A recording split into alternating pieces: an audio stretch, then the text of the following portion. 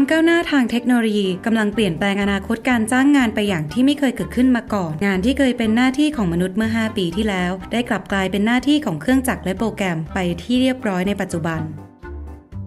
ประโยชน์ระยะยาวก็คือ สิ่งต่างๆ จะมีต้นทุนต่ำลง เราจะมีเวลาพักผ่อนมากขึ้น เมื่อถึงเวลานั้นคนที่ไม่ได้เตรียมพร้อมรับมือกับการเปลี่ยนแปลง ก็อาจจะถูกแทนด้วยเครื่องจักรถูกปลดออกจากงานหรือลดค่าจ้างลง เพื่อค้นหาว่างานของคุณจะได้รับผลกระทบหรือไม่ นักเศรษฐศาสตร์จากสถาบัน MIT David Autor ได้ตั้งคำถามที่คุณควรถามตัวเองขึ้นมา 3 ข้อ ข้อแรก เทคโนโลยีจะช่วยหรือเข้ามาแทนที่งานของคุณหรือไม่ คอมพิวเตอร์คิดเองไม่ได้ แต่พวกมันสามารถทำงานที่มีการวางกฎไว้อย่างชัดเจนโดยโปรแกรมเมอร์ ดังนั้นคนที่ทำงานที่คอมพิวเตอร์ทำได้ อาจจะถูกปลดหรือลดเงินเดือนลงในไม่ช้า ในทางกลับกัน คนที่ใช้เทคโนโลยีเข้ามาช่วยเพิ่มประสิทธิภาพในการทำงาน ก็จะคงรักษาตำแหน่ง และอาจได้ปรับค่าจ้างขึ้นอีกด้วย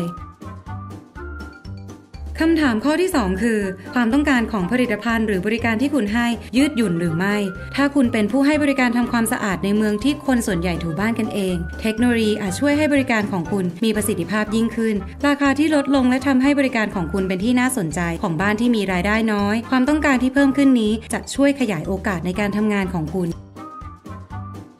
แต่ถ้าคุณทำงานอยู่ในครัวในร้านก๋วยเตี๋ยวการลวกก๋วยเตี๋ยวได้เร็วขึ้น ก็อาจไม่ได้ช่วยให้คุณขายดีขึ้น เพราะลูกค้าคงไม่สั่งก๋วยเตี๋ยวเพิ่มขึ้นเมื่อพวกเขาอิ่ม ดังนั้นปริมาณอาหารที่ลูกค้าควรต้องการ จึงจัดว่าเป็นความต้องการที่ไม่ยืดหยุ่น ความมีประสิทธิภาพก็ไม่ได้ช่วยสร้างงาน แต่กลับตรงกันข้ามเสียมากกว่า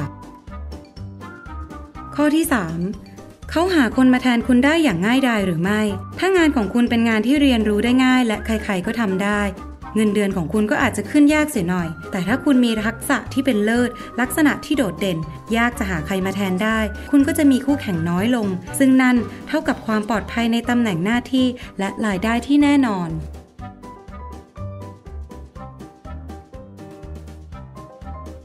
จนกว่าเราจะหาวิธีที่จะแบ่งปันความร่ำรวยและเวลาพักผ่อน ซึ่งความก้าวหน้าทางเทคโนโลยีจะนำพามาให้เราได้ ก็คงจะมีเพียงแค่นักแก้ปัญหาที่เก่งที่สุด และคนที่ปรับตัวได้เท่านั้นที่จะอยู่รอดได้ในภาวะอนาคตอันไม่แน่นอนนี้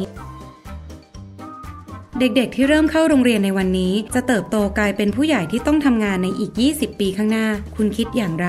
อาชีพที่มีแนวโน้มจะหายไปในประเทศไทย โรงเรียนและผู้ปกครอง ควรเตรียมตัวอย่างไรเพื่อให้เด็กๆ เหล่านี้ พร้อมที่จะทำงานที่มีความหมายในอนาคต